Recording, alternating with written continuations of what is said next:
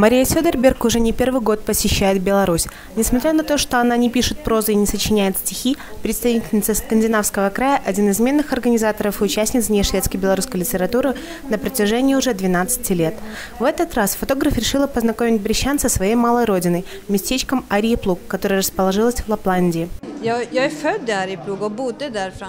родилась в 18 år Ардиплуге, жила там вплоть до 18 лет. И сейчас меня очень интересует эта тема. Я планирую провести серьезные исследования о моем происхождении.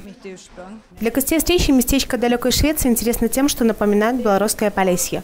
Да, они разнятся по ландшафту, а Риплук славится своими горами, но та самобытность языкового наречия, самобытность духа людей, которые населяют этот шведский край, сравнима с аутентичностью, характерной для полишуков. Мы сёння паслухалі вельмі цікавую гісторыю пра невялічкую сям'ю людзей, якія жывуць на самай поўначы Швецыі. Это вельмі унікальны расказ быў гаспадарыні Марыі.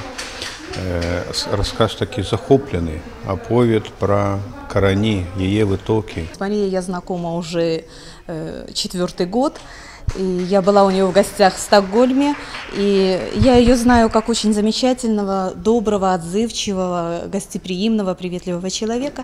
Но сегодня я ее узнала немного в другом качестве. Еще как я знала, что она отличный фотограф, но я не знала, что она любит пешие прогулки. И я видела очень много ее фотографий, но я не знала, что это все вот э, действительно так, как она рассказала. То есть это стало ее, можно сказать, стилем жизни. Сейчас Мария Сёдерберг работает над созданием фотокниги, которую собирается представить и в нашей стране.